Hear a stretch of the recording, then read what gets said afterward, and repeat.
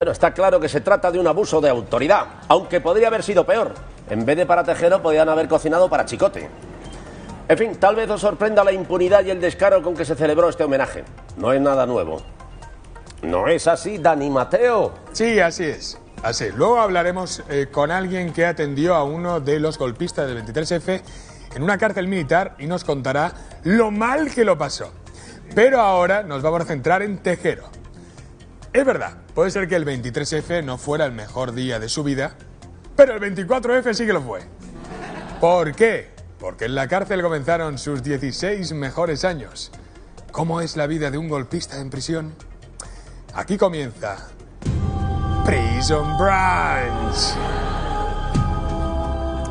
Bien, la primera prisión militar a la que enviaron a Tejero fue el castillo de La Palma, en Mugardos, al sur de la ría de Ferrol, donde disfrutó de una estancia de dos años. Y digo disfrutó porque atentos a la descripción de su habitación.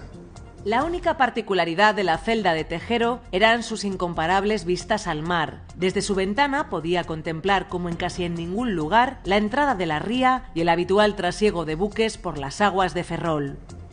Así es la vida. Das un golpe de estado y te toca un piso en primera línea de playa.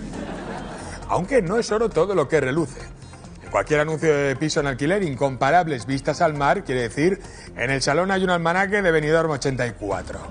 Pero atentos porque no solo tenía buenas vistas, así fue la vida de Tejero en esta prisión. Tejero tenía libertad para moverse por gran parte de la fortaleza y disponía de una sala que utilizaba para recibir a las numerosas visitas que se acercaban para infundirle ánimos. Esta estancia tenía unos butacones con una mesa en la que se solía servir un café y donde el teniente coronel departía con los visitantes. Uno de los soldados de la prisión era de Mugardos y nos contaba que le mandaban tal cantidad de marisco y carne que no podía comerlo todo y lo que le sobraba se lo regalaba a la tropa. Para que luego digan que la crisis no ha afectado a los ricos. Lo más cerca que ha estado Bárcena del marisco es cuando en Soto del Real ponen Bob Esponja. Lamentablemente esto solo duró dos años. Del año 1983 a 1991 Tejero vivió en otro castillo, el de San Ferran de Figueras en Girona. Pensaréis, se le acabó la buena vida. Pues no, hasta el defensor del pueblo en el año 90 denunció que además de su habitación individual, tenía a su disposición un estudio de pintura y una sala para proyectar películas de vídeo. La prisión además disponía de un amplio jardín, así como salas de visitas, de televisión, biblioteca, enfermería, capilla y gimnasio. Sí, sé lo que estáis eh, pensando y lo que os estáis preguntando. ¿A Tejero lo mandaron a una cárcel o a un parador nacional? Pues no lo sé, porque no acaban ahí las comodidades. El director del centro, el coronel Manuel Ortega Guillén, le invitó a una comida, concretamente a un souquet de peix, razón por la cual fue destituido. Como veis, el del hijo no es el primer despido. Invitar a Tejero a una comida debería ser considerado ya deporte de riesgo. Con este hombre habría que hacer lo mismo que se hace con los patos en los parques, ponerle cerca un letrero que diga, por favor, no dar de comer. Los últimos años de cárcel, del 91 al 96, cuando se le concede la libertad condicional, Tejero estuvo en la prisión de Alcalá de Henares.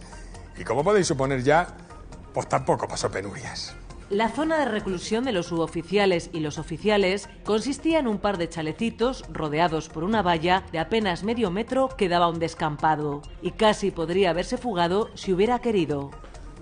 Exacto, podría haberse fugado si hubiera querido, pero ¿a qué persona en su sano juicio se le hubiera ocurrido fugarse viviendo así?